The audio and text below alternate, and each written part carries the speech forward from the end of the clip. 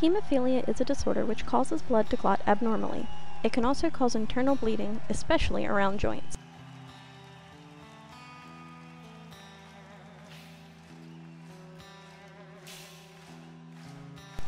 Hemophilia is almost always inherited, meaning it is passed on from parents to child. Hemophilia is a recessive sex-linked trait. These are traits that are carried on the X chromosome.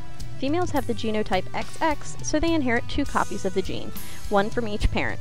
Because males have the genotype XY, they inherit only one copy of the gene, always from their mother. We can see how this happens using a pedigree chart, also called a family tree. In a pedigree, phenotypes are shown. Males are represented with a square, females with a circle. If a shape is colored in, the person has the phenotype. If the shape is not colored in, the person does not have the phenotype. If the shape is half colored in, the person is called a carrier. If a mother is normal and the father has hemophilia, no children will have hemophilia, but the daughters will be carriers.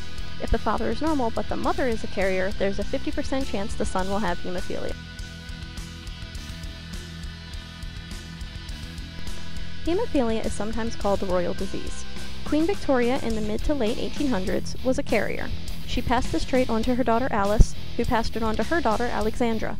Alexandra married the Russian Tsar Nicholas and gave birth to a hemophiliac son, Alexei.